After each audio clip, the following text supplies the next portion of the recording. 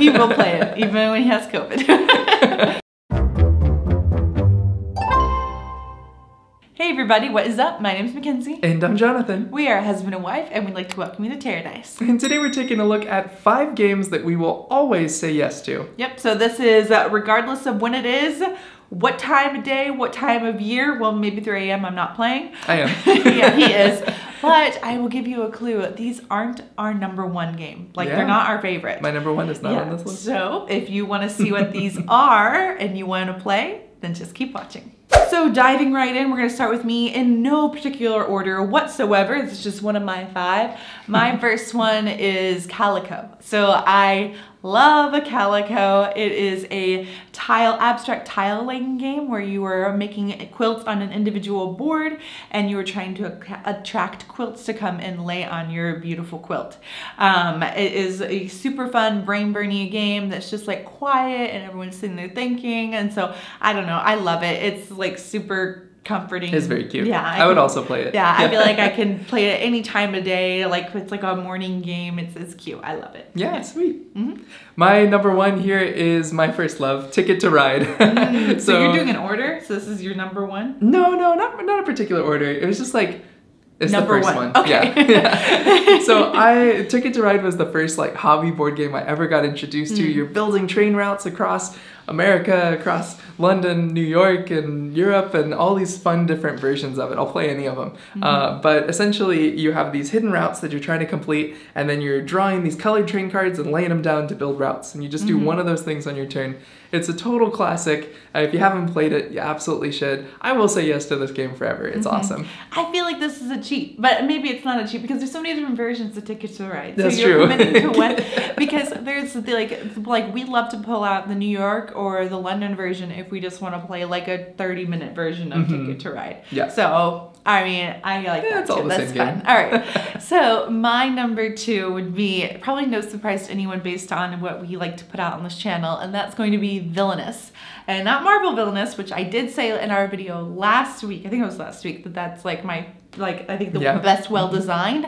But the one I will say yes to anytime is going to be OG Villainous um, Disney um, with now added Pixar. I am a big fan. um, I love testing out all of those games. I love all the characters. Huge Disney nerd. Love getting seen the Dis- the fandom incorporated into the mechanics. It's basically if you don't know, it's where you take on the role as a Disney villain and you trying to be like like do your plot like fulfill your plot and uh, before the other villains do. And i just i love it. It's villainous. Yeah, Yeah, i will play awesome. it yeah. Sweet. And yours My number two would be my most played game of last year. Uh, we talked about this one recently. That is Scout. I just think it's this Mm. awesome little card game. It's a ladder building, uh, ladder climbing game, which means you know I put something down, you're trying to trump that, and then they're trying to trump that, and whoever can collects those cards. Uh, and it's a really, really interesting game where you can't rearrange your hand, and you have to play cards that are touching each other in sets. Yeah. Uh, so it's really, really cool. Like, oh, if I remove these, it sandwiches these together, and now I have a new set. Uh, just really fun. It has never gotten old for me, despite the like 50-ish plays we had last year. and for like Yeah. it doesn't really have a theme like they tried to put a theme on the american version but like it really doesn't and so Yeah. Mm-hmm. but it's still like really engaging and he's like he he will play this anytime because he brings this he brings this to work It's in my his backpack. and we've also pulled this out at a bar or those people Yeah. no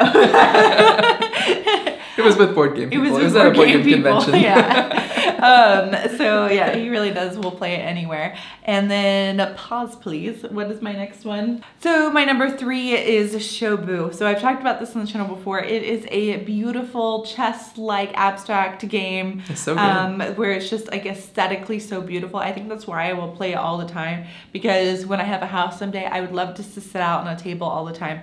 So it's just like where It's gonna have to sit next to Quale now. yeah. so it's just like where this is rope divides the middle, and uh, you're trying to move your every stone you move on your offense, then the other person, then you get to move it on your defense against them. Is that how you would Your defense it? offense, yeah. Okay, opposite. But I just it is like so pretty, and I just I think that's why it's like I it clickety clack with the rocks. It's so cute. Yes, Okay. is. Go.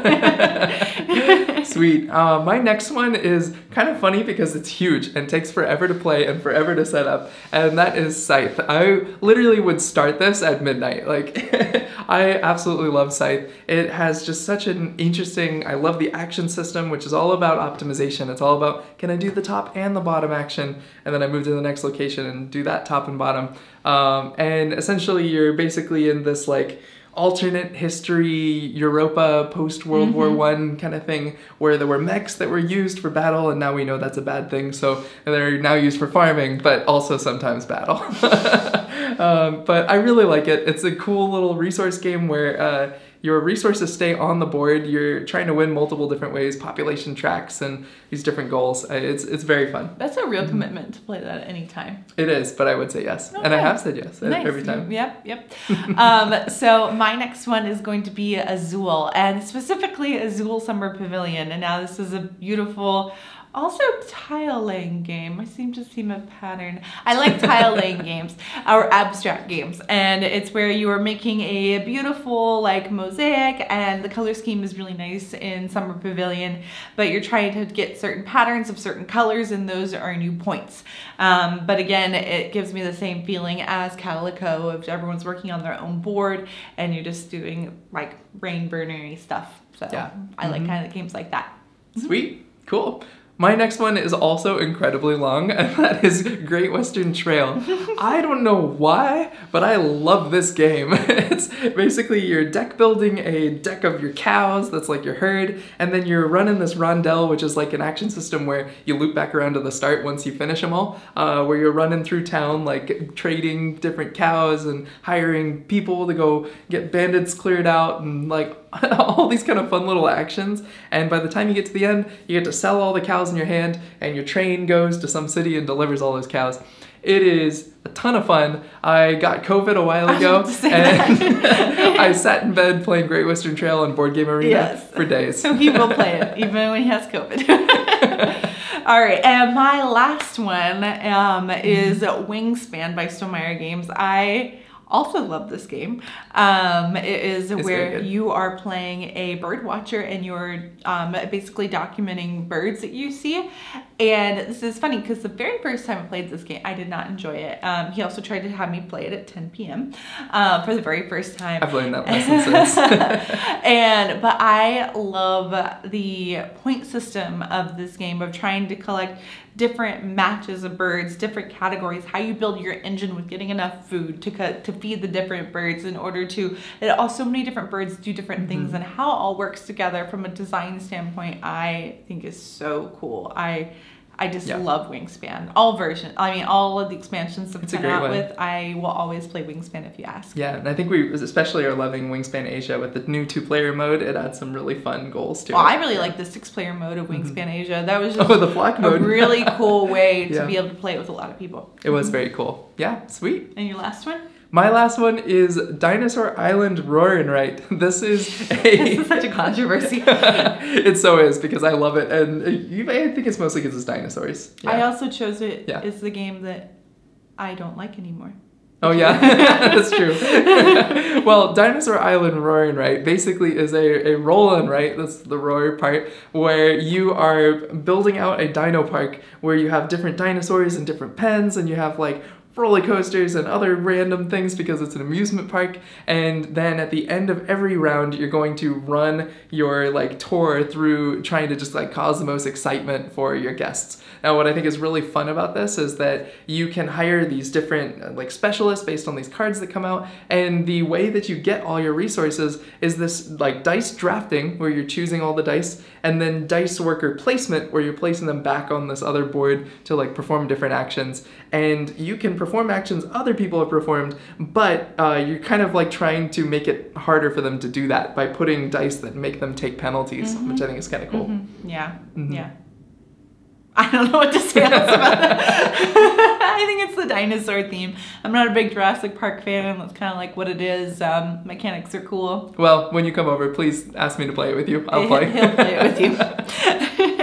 All right, guys, that is our each top five games that we will play at any time. And it wasn't our favorite. My favorite game is actually Viticulture. Yeah, mine's Everdell. Yeah. so why we why won't you play Everdell? I guess that's important. Yeah. Why aren't you going to play Everdell anytime? I won't play Everdell anytime because I think it's very good at three players and Uh-huh. like pretty good at four players, and I won't play it outside that. So if Mm. like people Uh, well, we play two We player, and that's enjoyable. But like, I like if five people ask me to play Everdell, I'm gonna say no. Whereas like most of these other games, I'd try to like squeeze that in and just make it work. Mm. Um, so that's the main reason. The other is that it can run very very long when you have lots of players, especially if you haven't played it before. Yeah. So I'm sometimes just not in for just sitting there when like I, I know what to do, and the point disparity is gonna be so high because I'm like so good at it now that it'd just be like, okay, I got 200, you got 100. The That's end. true. Uh, that is Yeah. my one issue with Everdell. It's like the kind of it's the ending where someone will finish, and then with Everdell in other games, you can keep going. Like, but Everyone oh, I'll keep keep going. going. I'll keep. I oh, I still have a turn. Oh, Everyone's I doing the dishes and cleaning up, and I'm like yeah, finishing my yeah. last turn. I've left. Um, he's still going. I've literally left.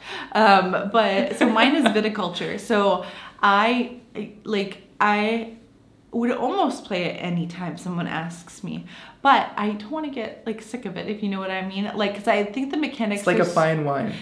Exactly.